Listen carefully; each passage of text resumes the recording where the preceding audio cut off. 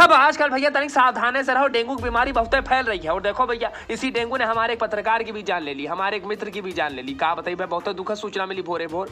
बड़ी हिम्मत करके खबर लगाने प्रयास किए हैं। ऑल इंडिया पसमानदा मुस्लिम महाज के प्रदेश अध्यक्ष वसीम रईन के छोटे भाई आदिल जी का निधन हो गया। कुछ दिन पहले इनका डेंगू भवा रहा है, वही से लगातार ग्रसित चल रहे थे। और अब भैया पता चला कि हम सबके बीच नहीं रहे।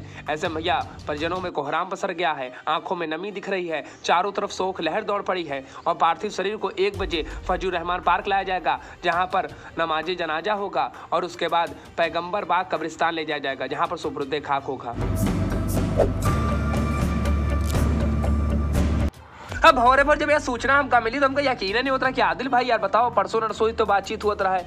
कुछ दिन पहले ही तो मुलाकात भई रहा है और इस प्रकार से हम सब के बीच नहीं रहेंगे, हम सबको छोड़कर चले जाएँगे। बहुत दुखद सूचना।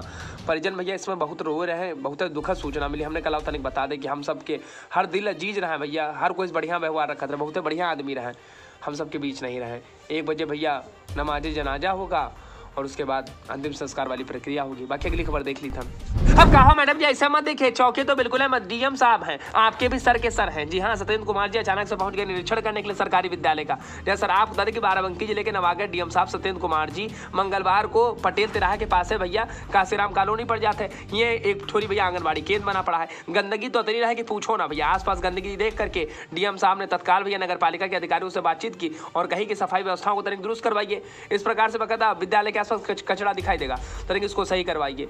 और बच्चों से मुलाकात भी किए। इसके बाद कुरौली पहुँच गए। कंपोजिट विद्यालय, यहाँ पर अचानक से निरीक्षण कर ली पता चला कि दो छोटी टीचर ने आए फिर मामला पता कि तो पता चला लियो भैया, अवकाश में है टीचर। फ़िलहाल भैया अधिकारियों का दिशा निर्देश दिए। टीचरन का भी समझन कि बच्चन का कायदे पढ़ाओ।